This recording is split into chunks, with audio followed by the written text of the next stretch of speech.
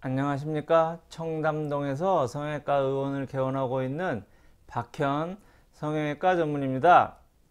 이거 모르고 뭐뭐 하면 안 됨 시리즈를 하고 있는데요. 그동안 쌍꺼풀 수술 리프팅 인중 축소 등에 대해서 말씀을 드렸는데 오늘은 가장 좀 그 성형 시술 중에서 popular한 그 보톡스에 대해서 이야기를 드려보도록 하겠습니다 보톡스를 맞게 되면 이와 같은 부작용들이 발생하게 되는데요. 이는 주사를 놓는 위치와 깊이 그리고 양에 따라서 결정이 되는 것이기 때문에 실수라는 의사마다 다른 양상이 나타나는 차이점이 있기는 합니다. 우선 1번에 눈이 커지는 부작용에 대해서 말씀을 드리면 눈가주름이나 눈밑주름 등의 눈 주위 주름을 없애기 위해 눈 주위에 보톡스를 맞게 되면 여기 이 눈 주위를 둘러싸고 있는 눈을 감는 관략근인 눈들레 근육이 마비되는데요. 이 눈들레 근육은 보톡스로 눈을 크게 라는 동영상에서 눈을 조그맣게 만드는 근육이므로 이를 마비시키면 눈이 커진다고 말씀드린 바로 그 근육입니다. 이 눈을 감는 근육이 마비되면 눈이 커져서 먼지가 많이 들어가고, 들어가고 바람이 불면 눈이 시리고 세수할 때 비누가 들어가 뭐 이런 그런 불편함이 있긴 하겠습니다만 눈이 작아지는 것보다는 100배 낫기 때문에 참을만 하다고 할 수 있겠습니다. 반면 눈을 뜨게 하는 근육인 상안 검거근을 보톡스가 마비시키게 되면 여기 보시면 한쪽 눈은 과하게 떠지고 보톡스로 마비된 눈은 더, 눈이 덜 떠지는 루피 아일리드가 뭐 졸린 눈이 발생하게 되는데요. 보톡스는 3주의 피크를 이루다가 그 후 점차 효과가 소실되므로 3, 4주의 기간만 경과하게 되면 100% 정상 눈으로 돌아올 수가 있겠습니다. 이번에 환한 인상이 안 써지는 부작용에 대해서 말씀을 드리자면 중년은 아닌 것으로 보이는 이 여성의 얼굴을 보면 이마도 볼록하고 눈도 크고 코도 높고 입술도 좋습니다만 미간 사이의 세로주름 이러한 주름을 관상학에서는 현침문이라고 하는데요. 매달현, 바늘침, 주름문에서 바늘을 늘여놓은 듯한 주름이라는 것입니다. 이 주름은 눈썹 밑에 있는 추미근이라는 근육이 수축하면서 미간의 명당자리가 이 구겨져서 생기는 것인데 보톡스를 맞아 이 추미근이 마비가 되면 본인의 평상시 얼굴과는 이질적인 느낌이 들면서 얼굴이 마비되었다고 느끼게 됩니다.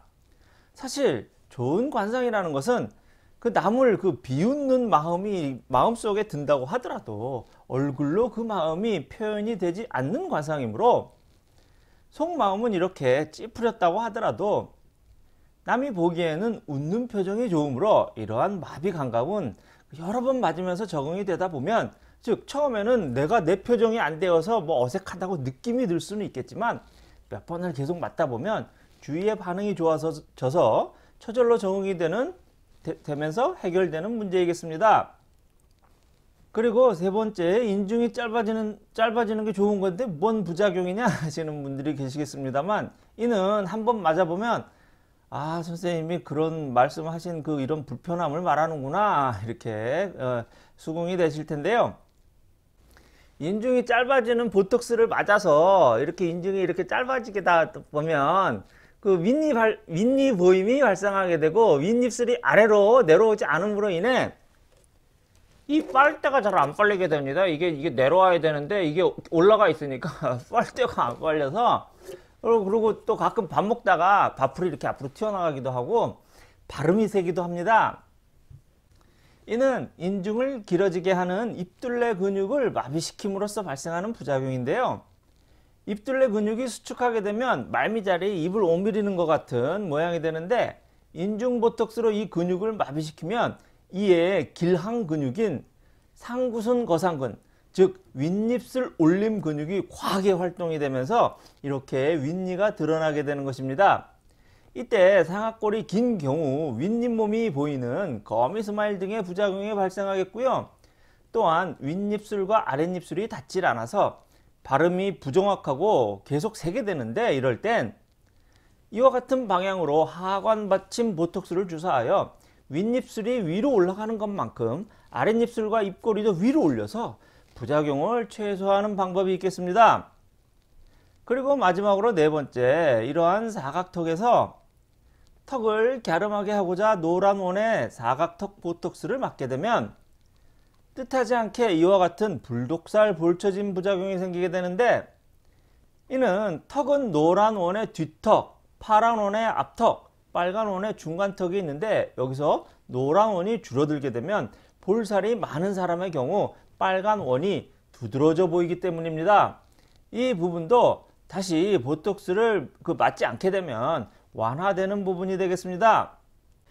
그 한간에 그 떠도는 말 중에 젊었을 때 보톡스 많이 맞은 사람이 나중에 늙으면 더 처진다 라던가 얼굴이 너무 나중에 늙어서 너무 흉해진다 라는 말이 있긴 합니다만 보톡스는 100% 없어지는 것이기 때문에 이는 보톡스를 맞아서라기보다는 필러 등 다른 이물질을 보톡스 맞으면서 곁다리로 같이 주입하기 때문입니다.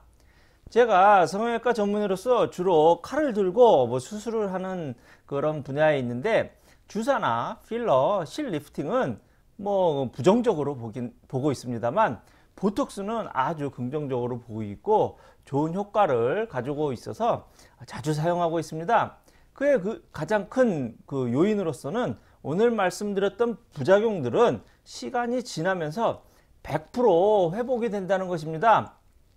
그리고 보톡스의 또 다른 또 장점은 노화를 일시적이나마 보톡스 맞을 때 그 기간 나중엔 맞지 않더라도 맞는 동안은 일시적이나마 노화의 그 속도를 늦춰줄 수 있기 때문에 저도 지난 20여 년간 맞고 있는 상태입니다. 감사합니다.